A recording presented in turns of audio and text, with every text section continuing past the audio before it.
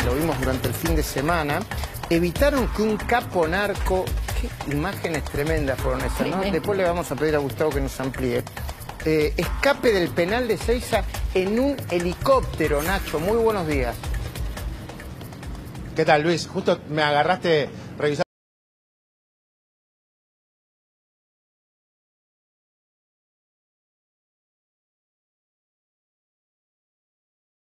Hace muy pocos meses nada más, intentó un, eh, un, una fuga de película.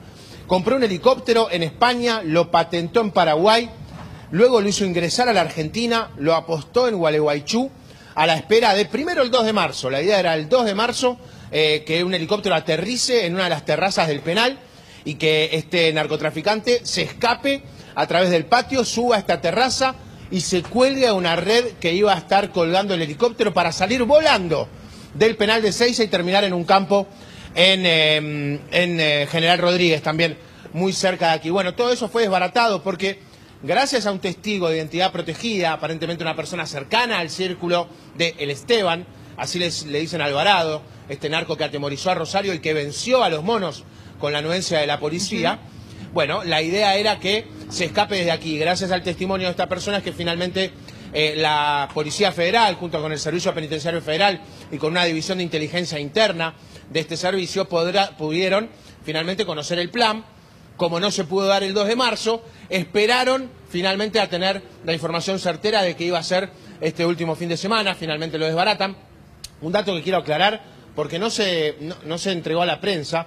En un momento se había pensado que el helicóptero llegó a estar en inmediaciones del penal de Seiza. Bueno, me confirman que el helicóptero no aterriza en Ah. el penal, Ah. no se encuentra en la terraza del penal, no llega a subir a la terraza narcotraficante, sino que Alvarado lo ponen a un costado, en un calabozo, vendría a ser, eh, en un espacio reservado.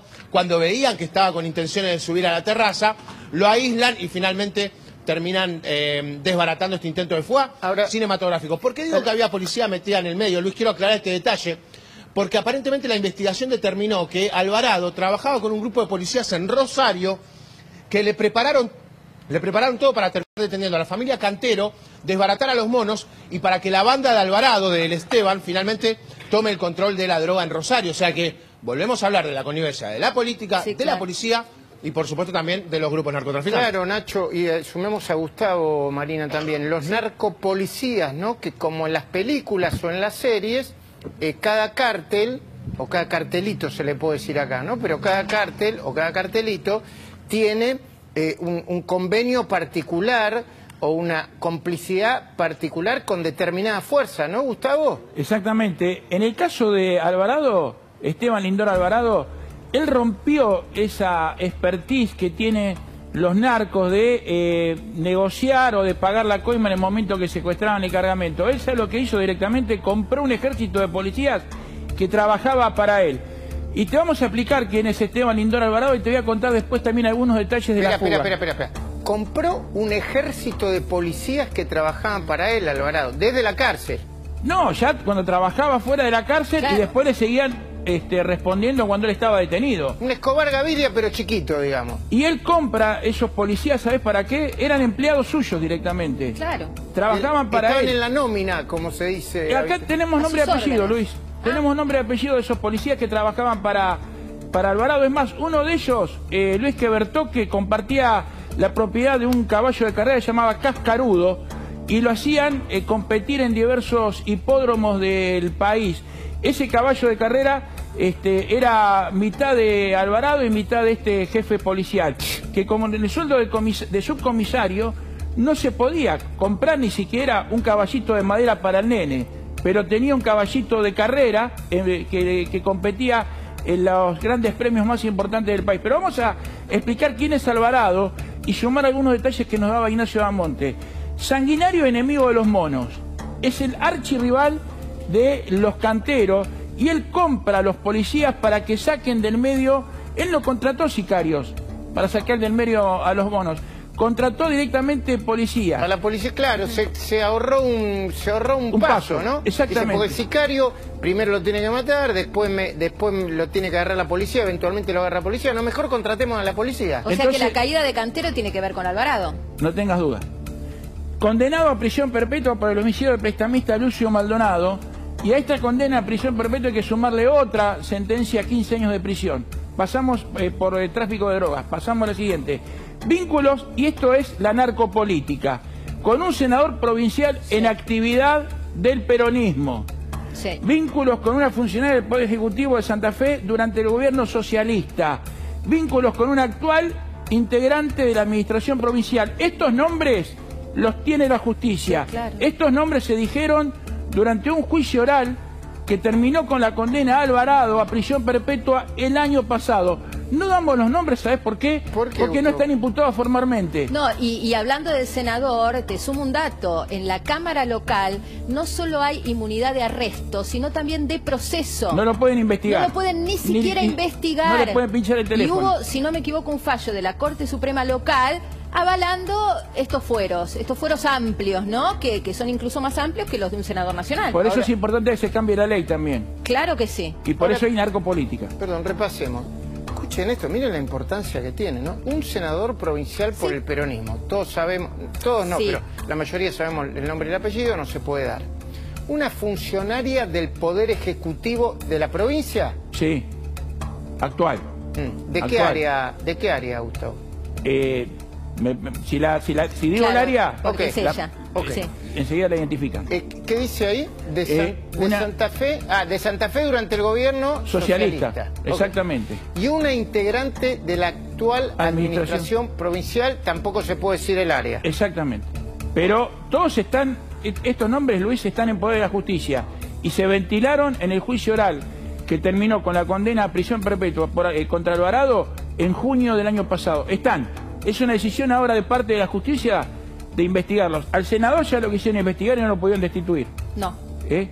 Directamente. no, no, la Cámara lo protegió y la Corte Y la- Suprema local también. Exactamente. Pasamos a la, a la siguiente placa, donde tenemos los nombres de los policías empleados. Pablo Báncora. Esto lo podemos dar, ¿sabes por qué? ¿Por Porque qué? ya fueron condenados.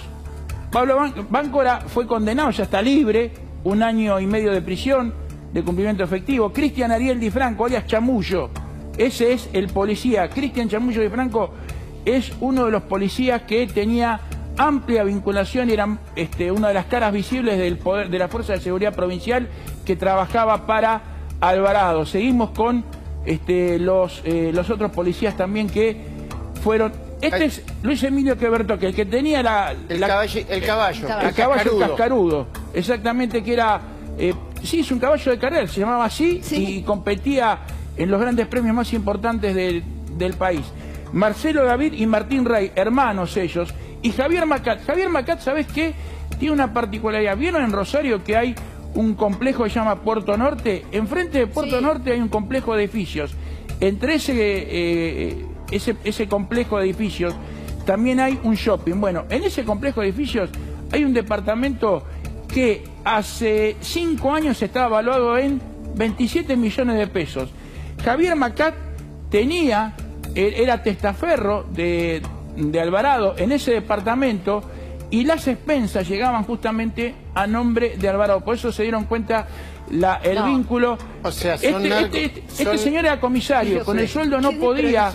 Perdón, es como si Escobar Gaviria pusiera las Sí, expensas a Pablo, nombre Pablo de... Escobar de- Gaviria. Exactamente, exactamente. Ahora, Y- también, ¿sabes en qué pensaba eh, Gustavo? La semana pasada el ministro Claudio Brilloni nos dijo, y pero por tres o cuatro policías corruptos no podemos hablar Hay de toda la 20. fuerza. 20 que trabajaban para Ah. Alvarado. 20 acá, en esta causa. 20 acá en esta causa que trabajaban para Alvarado.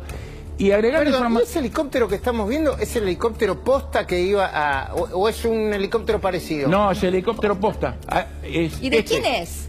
Este es de Alvarado. Ah. Lo compró Alvarado. Ah, listo. Él tiene, su madre es paraguaya. Él eh, tiene, él pensaba eh, huir de- del penal de Seiza, un, un vuelo de un minuto hasta un campo de General Rodríguez, ahí lo esperaban los, los cómplices y se iba a ir directamente a Paraguay. Su mamá es paraguaya, él tiene aceitados vínculos con eh, el bajo mundo de Paraguay y ahí pensaba refugiarse. Otro detalle, que les quería contar y agregar a lo que daba Ignacio Damonte. Eh, el helicóptero no iba a aterrizar en una terraza. El helicóptero iba a ir con una red, una red. iba a sobrevolar eh, uno de los pabellones de- del penal de Seiza. Ahí ya habían aflojado unas chapas. Vieron que donde está Ignacio Damonte los techos Sí. de los pabellones son de chapas, ya bien aflojadas unas chapas. Eh, Alvarado iba, iba a ganar el techo.